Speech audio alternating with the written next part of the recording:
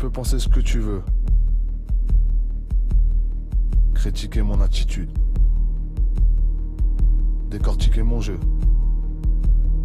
Mes dribbles. Mes coups francs.